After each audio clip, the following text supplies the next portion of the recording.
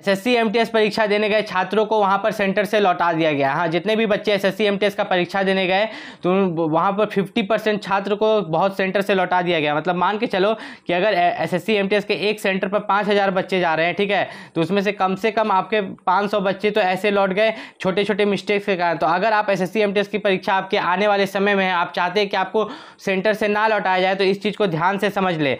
देखिए, अगर आप यहाँ पर अपना एडमिट कार्ड लेके जा रहे हैं तो एडमिट कार्ड के साथ अपना आधार कार्ड कार्ड या पैन कार्ड लेके जाइएगा, ठीक है?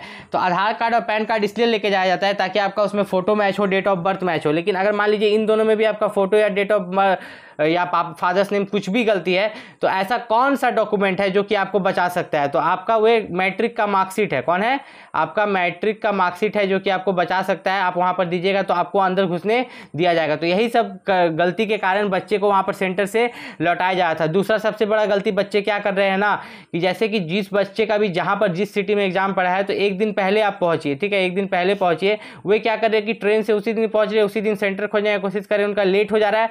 लेट होने के कारण गेट क्लोज हो रहा है। गेट गेट क्लोज होने के कारण बच्चे एग्ज़ाम नहीं दे पा रहे, जो कि बहुत ही बुरी बात है। उतना उतना दिन तैयारी करने के बाद अगर बच्चे एग्ज़ाम नहीं दे पा रहे तो अगर आपका एस एस का परीक्षा आने हाल फ़िलहाल में है तो आपको ये सब तैयारी करके रखना है, सब डॉक्यूमेंट अपना रेडी रखना है। और साथ ही साथ, यहाँ पर मैं आपको बता देता हूँ कि आप क्या कीजिए शिफ्ट वाइज क्वेश्चन पेपर कीजिए। एस एस में जो शिफ्ट वाइज क्वेश्चन पेपर हो रहा है ना, वे करके जाइए। अगर आप एस एस में जो शिफ्ट वाइज क्वेश्चन पेपर है, जैसे पहला दिन, पहला शिफ्ट पहला दिन में ही आपका चार शिफ्ट का क्वेश्चन पेपर हुआ होगा तो चारों शिफ्ट का क्वेश्चन पेपर करके जाइए, उससे आपको क्वेश्चन फंसने का चांस रहेगा। मिलते हैं अगले वीडियो में, तब तक के लिए नमस्कार।